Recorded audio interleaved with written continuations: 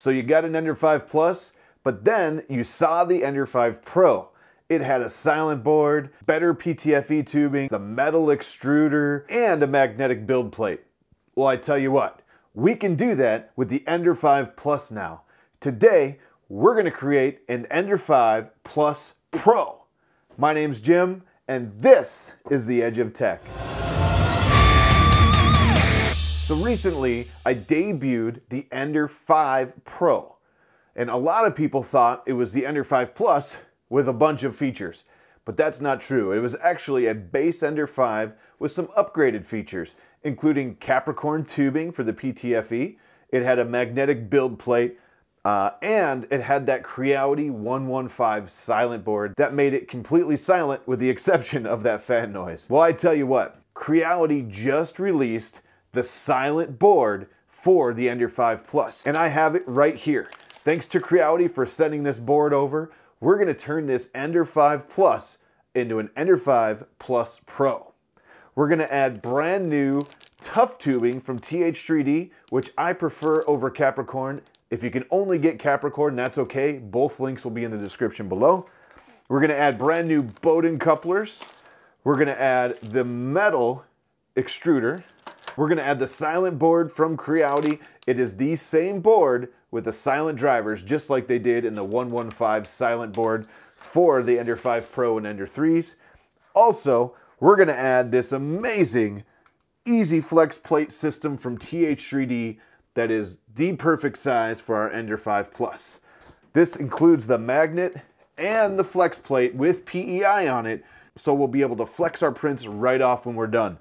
Not that I don't like the glass that came on this, but I really love the Flex systems. And TH3D makes some of the best Flex systems I've tested and the best prices as well.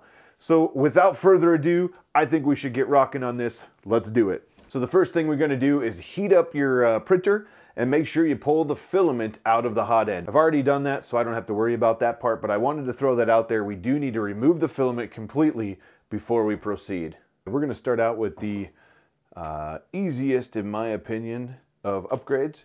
And we're gonna replace the bed. So what you wanna do is take all your clips off of the bed here, take your glass plate off. That leaves you with just the bare aluminum build plate here. Then what we wanna do is take your magnet from TH3D, which is right here, just peel back the paper just like that. So just the corner is there. We're going to flip that around.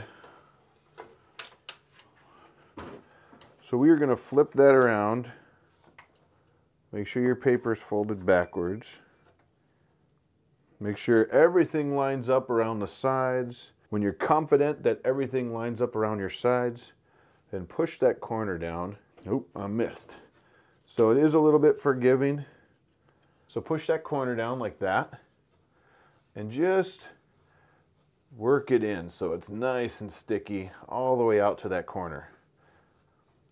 And it'll be nice and uh, flat. Then reach underneath and grab that flap that you pulled and just pull out a little bit. And then from the top, all you have to do is work it in like this.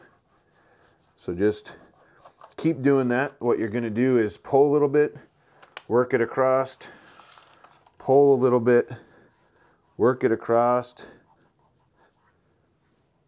If you see a, a bubble, you can work it out a little bit by raising a little. But if you do it like this, you shouldn't get any bubbles. When you're all done, you end up with a really nice magnet right on the bed. And this is some uh, real nice thick magnet. Um, really good 3M adhesive in the back of it. You take your sheet, you drop it on like this, and now you have a magnetic build plate with the PEI surface. Super easy to take off.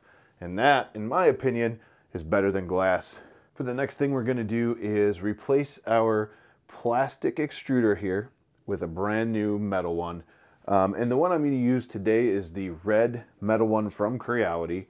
And to start, we're gonna pull down our coupler and pull out our Bowden tube. That's why we took our filament out earlier. Then what you wanna do is come in and take off this screw right here. So when you get that far, hold your hand down here, everything will come out and your spring, oop, and your spring will come out or drop on the floor. Take out these three bolts here. But you got to be careful because once you do this, you are going to lose the, the motor off the back. So I'm going to loosen up uh, a couple of them here and then I'm going to move around to the back of the machine and take this off so I can hold it. So here's where we got to be careful. I'm down to one last bolt and as you can see my stepper motor is pretty loose here. So I'm going to hold on to the stepper motor here and turn out that last bolt, pull the extruder off and set it aside. Then take your stepper motor out and set it uh, either down on the bottom or on your plate, whatever you feel comfortable with doing. What's really nice is this plate here, which houses the uh, filament runout sensor, stays in place, so that's always going to be there. So when we're going to put this back together, it's going to be identical to the one we just took off. If you look at that one, you can uh, see how it all goes back together, but you'll need your plate, um, your arm, you'll need one of the beveled uh, screws like this, the littler ones, You'll need two of the capped ones, uh, one of the shorter, well, it's the only one. It's the shorter one that's going to be used for our pulley, which is right here. And you're going to use this little lock washer um, on that. You need the sleeve, the gear, the spring, and the very long screw right here. And that's it. First thing we can do is put our pulley together. All right, so you got your arm, your uh, lock washer on there, your, your shorter of the tall cap screws, and your pulley. Just like that. That just screws down right here in your arm. So you take your Allen wrench and tighten that down. The next thing we need to do is swap out our gear. So loosen these two grub screws. Once you get it loose, the gear should slide off and that's your old gear. Take the new gear, it's gonna go on and you may have to loosen the grub screws. This right here is your flat surface of the shaft. So loosen your two grub screws and slide it down. Um, and at this point, I'm only gonna go about halfway because we don't know exactly where we're gonna sit yet. So I'm gonna tighten those in um, just so they're snug so this thing doesn't move, but we're gonna adjust it again later. The next thing we're gonna do is put the base plate back on and attach it to our stepper driver. So the stepper driver should go back on and the cord should be out. Um, they'll be out the right side if you're facing towards me, or since I'm facing towards you, it'd be out my left side. Either way, the cord should go that way.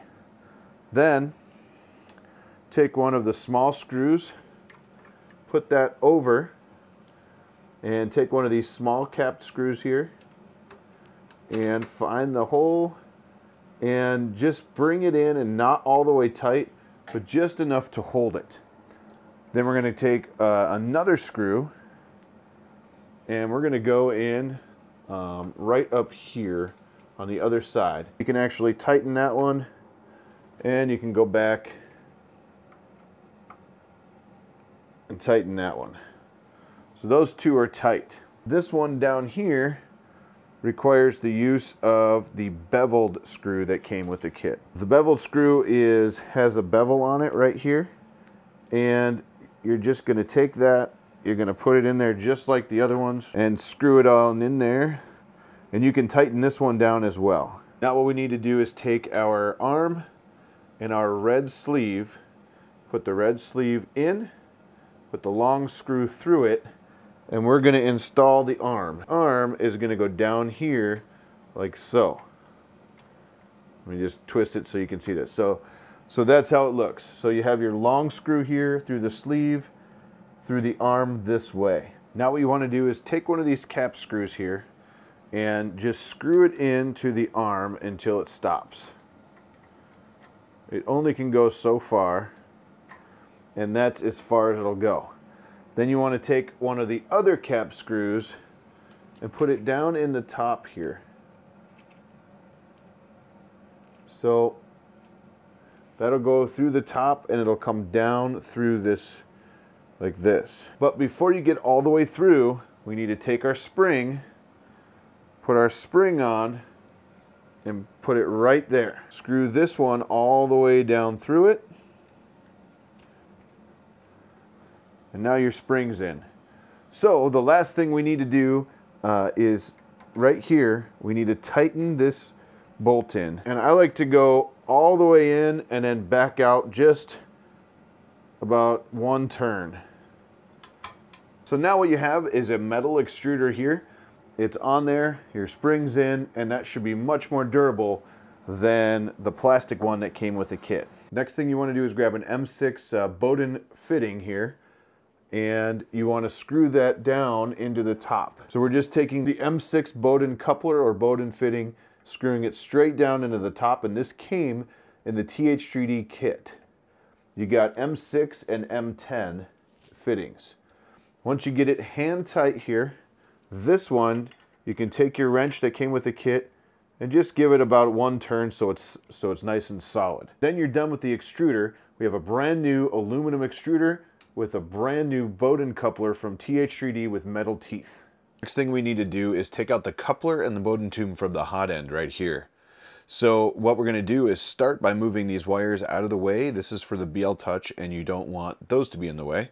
Then we're going to take the little blue clip and pull that little blue clip out there. Sometimes it's tough, but uh, there we go.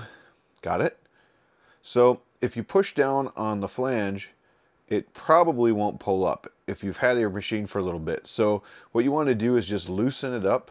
Um, grab your wrench, loosen up that top Bowden coupler there. Then what I'm going to do is just cut this zip tie here uh, to make it a little bit easy on us. There we go. And then I'm going to spin the Bowden tube around and you'll start seeing that Bowden coupler spin. And this is the quickest way for me to get this out. So I'll just keep spinning it around until it gets to the top. And there you go. Once it's at the top, it'll be pretty loose. Maybe one more spin. And then what you want to do is grab and just pull it straight out. The Bowden coupler is stuck on the Bowden tube. It won't go out. So if you push it forward, it'll actually come forward through that tube and you'll be good that way. Now take this tube, match it up to your Capricorn or your TH3D Tough tube and cut it to the exact size. I like to use, uh, when I'm cutting these, I like to use the actual cutter I got. It looks like this.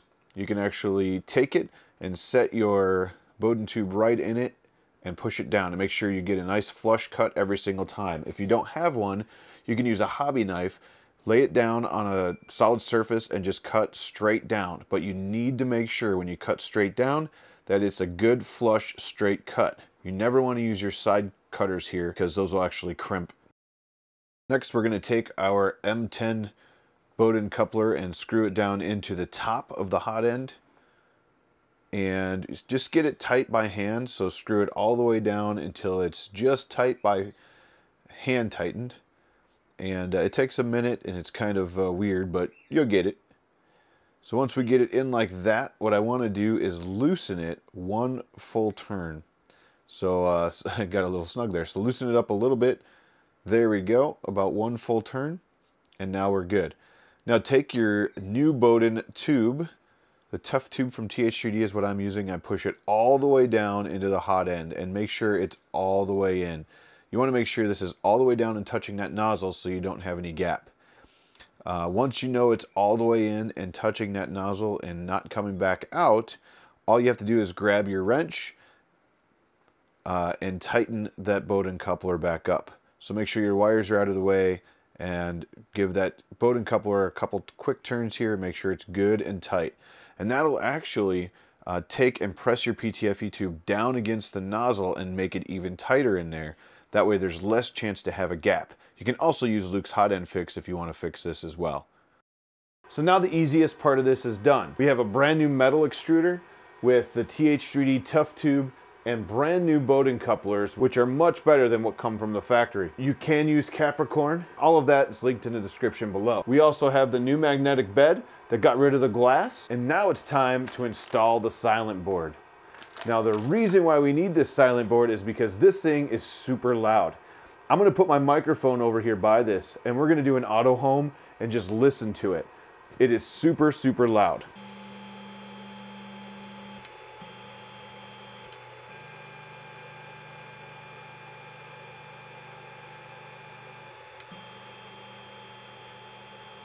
But we're gonna take care of a lot of that noise, I hope, with this brand new silent board. Let's do it. So I never like laying printers down, but in this case we have to because we have to access the bottom panel here. So lay it down and what I did was I put the uh, top of the printer a little bit off a table so it laid flush. Then we need to take out these six bolts and carefully pull the bottom out and disconnect our fan. So I have all six bolts out and it's just floating here. So what I'm gonna do is hold on to the bottom and just pull the bottom panel out like this. When you fold it down, you'll notice your fan is connected right in here and it's on the inner fan port of this board. Something to look at. So pull that out and move your panel aside. There's one, two, three screws we need to take to get the motherboard out. So I love that there's a lot of room here because that means we can move this board aside, put our new board in, and then just do one by one and put them all back in the same spots. The new board is identical to this, except it has the silent stepper drivers. So the first thing we need to do is pull our ribbon cable for the display, because that will get in our way. Then we need to take out the three screws that are currently holding the motherboard in. And I was wrong. There's actually four. There's one right down here that I didn't see before. So take that one out as well. The board should pull up a little bit, up, and then out of the way. So I found that most of the cords run right behind the power supply here. And so I'm gonna actually lift them up and that'll help me get the old board over to the side. And you can actually pull that over a pretty good distance. Grab your new board here and it looks identical. It actually is the same board. Uh, it's the Creality version 2.2, and that's the same board as we have here. The difference is these should be the silent drivers. Then we're gonna set it up just like it was.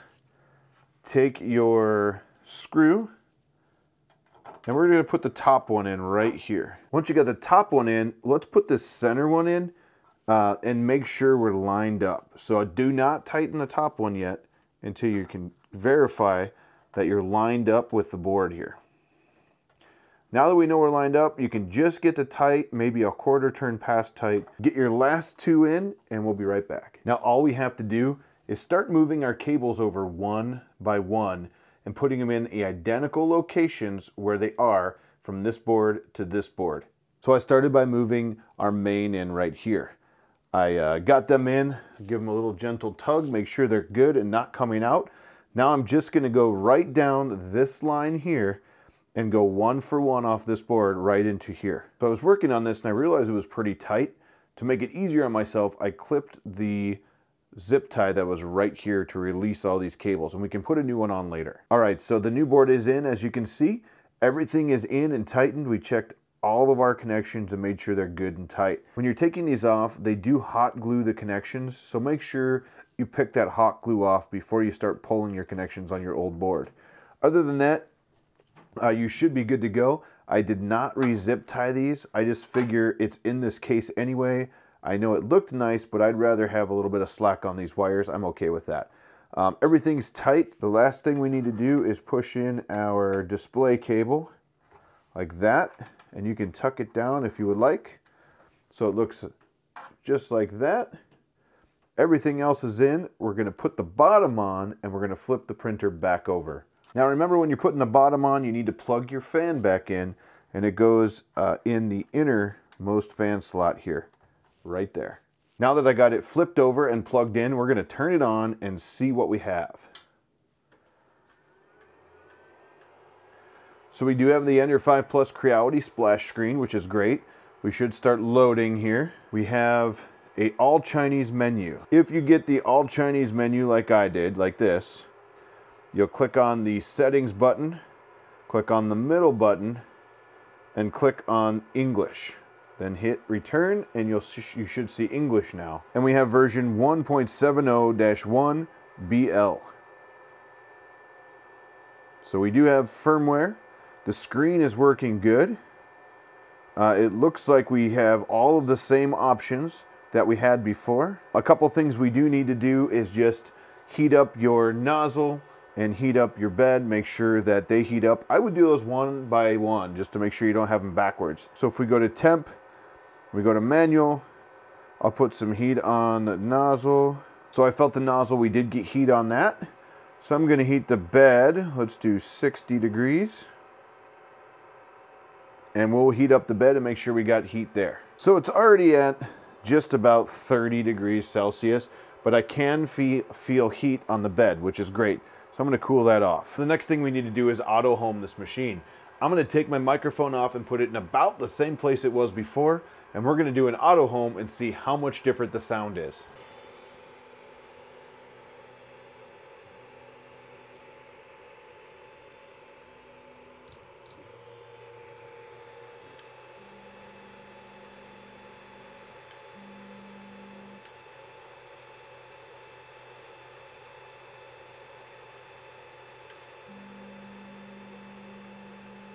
Now that is awesome. It's so much more quiet with this board in it. Just want to say that Creality did send me this board. I did not pay for it, but uh, I wanted to make it part of this video because I really think this machine is awesome. And turning it into an Ender 5 Plus Pro is such a great idea. This is the printer that most of us wanted uh, from the beginning. Um, it came out the price is pretty decent, but it really should have the silent board in it. It should have the upgraded tubing, whether that's TH3D Tough Tube like I prefer or Capricorn. Um, in my opinion, they should use better Bowden couplers, but that's why I go with the TH3D kit that's uh, linked in the description below. And also the metal extruder here. That's a huge upgrade on all of the Creality machines because we know that that plastic one wears down over time. The other thing I really can't wait to print on is this magnetic bed like we put on as well. I mean, all of that on this machine really makes this thing a great, great package. I just wanted to show you how to install the components, get them on here, and get them running. Now, the loudest part of this machine is the fans, and I tell you what, they are loud. The very loud one in this is actually uh, the power supply fan. The power supply fan on this is crazy loud. I'm not going to do anything with that because I'm actually going to be changing the power supply out to a Meanwell.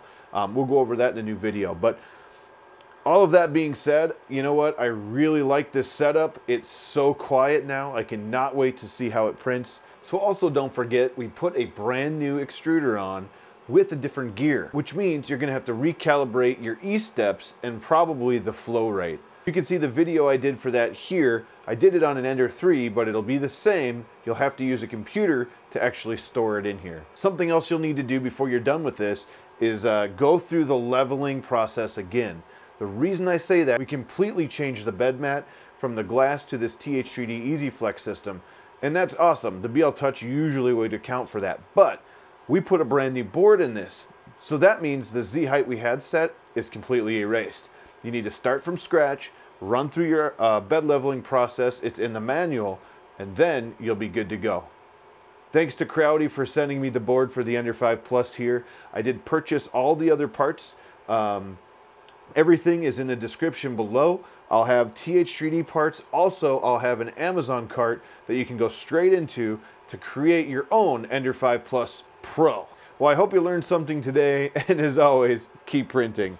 Well, I hope you loved the video today. Give me that thumbs up if you did for the like. Hit the subscribe button here and the bell right over here to get notified next time we put out another great video or when we go live. You guys rock.